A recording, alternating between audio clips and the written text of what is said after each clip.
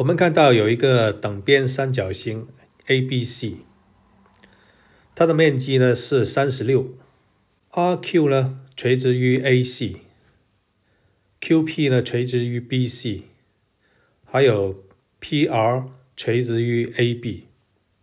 那么题目要求的是三角形 PQR 的面积是多少？那么说到等边三角形呢，我们分析一下它所隐含的一些信息。那么等边三角形三条边是相等的，AB 等于 BC 也等于 AC，而且里面的三个角都是相等，分别是六十度，也就是说这个是六十度，这里也是六十度。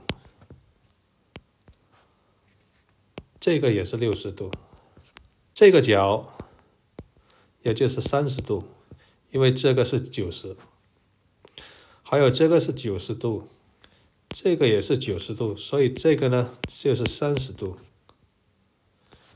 还有这个同样也是三十度。那么剩下来里头的那个三角形 RPQ 呢，三个角。这里显然是六十度了，因为一个三十，一个九十，剩下了这个就是六十。那么同理，这个也是六十，这个也是六十。里面的这个三角形 PQR，也就是等边三角形。在外面的这个等边三角形 ABC 呢，假设这里有一条高。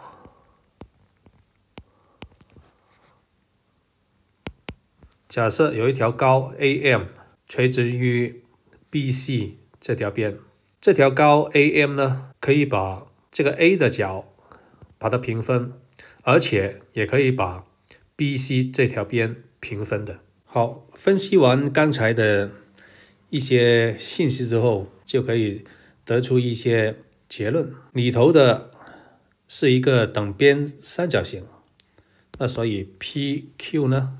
就等于 QR 也等于 RP，而且呢，BP 呢就等于 QC 也等于 RA，因为呢在外边的这三个直角三角形呢都是三十度、六十度为内角的直角三角形，那么所以呢它的斜边 BP。跟 QC 跟 RA 都是相等的，那再有 PC 这个短边也等于 AQ 这个短边也等于 BR 这个短边，因为呢 ABC 是一个等边三角形，PC 除以 QC 会是怎么呢？也就是三十度角的一个正弦，那也就是等于二分之一。那么我们就可以得出 QC 呢，就等于两个 PC。因为呢，刚才 QC 等于 BP，那么所以我们这里也可以得到 BP 呢。就等于两个 PC，这里没问题吧？那既然 BP 等于两个 PC 的话，我们也可以换成 PC 呢，就是三分之一个 BC。再分析一下这个三角形 PCQ。按照三角形直角三角形的定理呢，我们可以得出斜边的平方等于两个直角边的平方和，也就是 PQ 的平方加上 PC 的平方是等于 QC 的平方。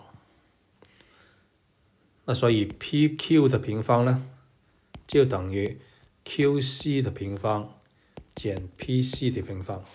那么我们可以得到 PQ 的平方呢，就等于两个 PC 的平方再减 PC 的平方。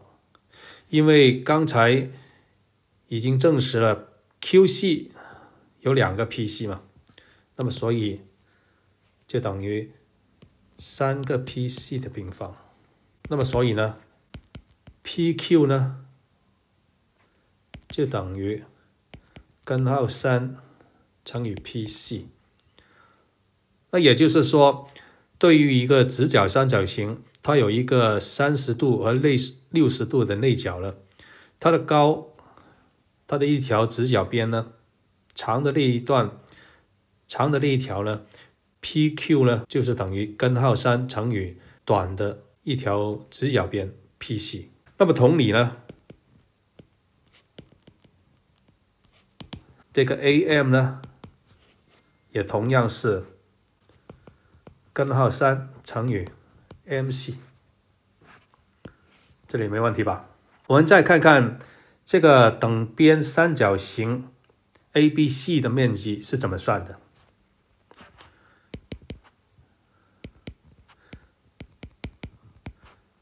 等边三角形 ABC 的面积呢，就等于二分之一底 BC 乘以它的高 AM。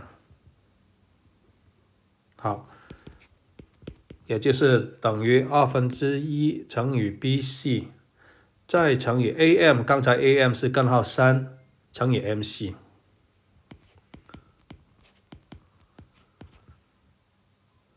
那我们这里也可以等于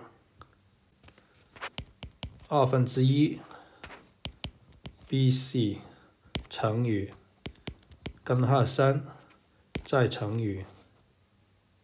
因为 MC 呢是一半的 BC，那也就是二分之一的 BC，那么我们可以得到，这里就是四分之根号三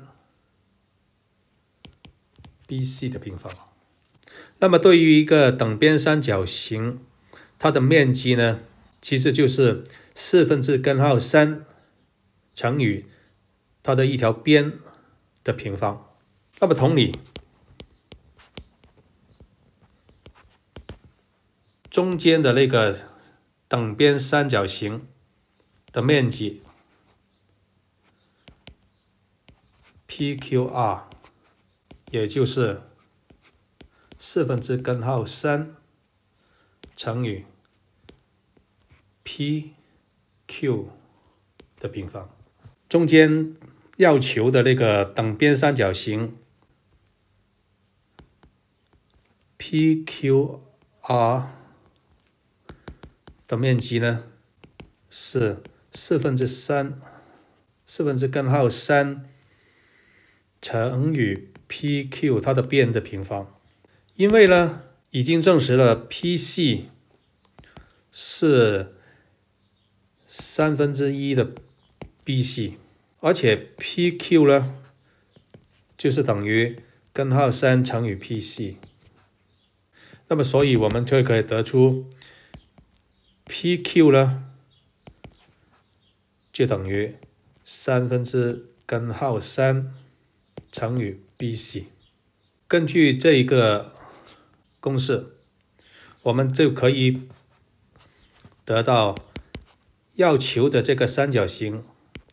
PQR 的面积呢，就等于四分之根号三乘以 PQ，PQ 呢就是三分之根号三 BC 的平方。那么这里也就是等于四分之根号三乘以里头是九了，根号三再平方是三。再乘以 BC 的平方。好，题目的其中一个条件，他说它的面积是三十六。根据刚才